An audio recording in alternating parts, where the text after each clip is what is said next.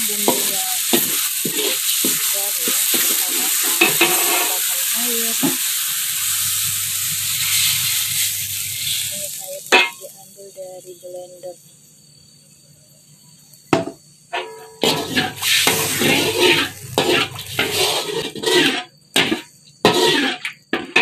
kita masukkan santannya. Santan cair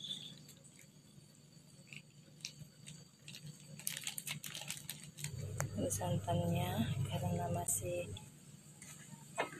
keras atau membeku di dalam freezer kita tunggu santannya cair semua ya guys.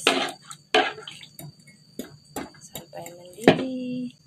Setelah santannya mendidih kita tambahkan daun jeruk dua lembar dan daun salam dua lembar satu lembar daun kunyit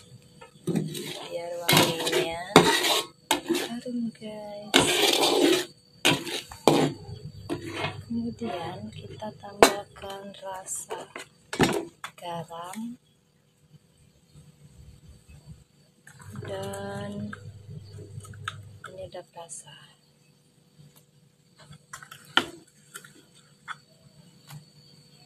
Setelah itu kita masukkan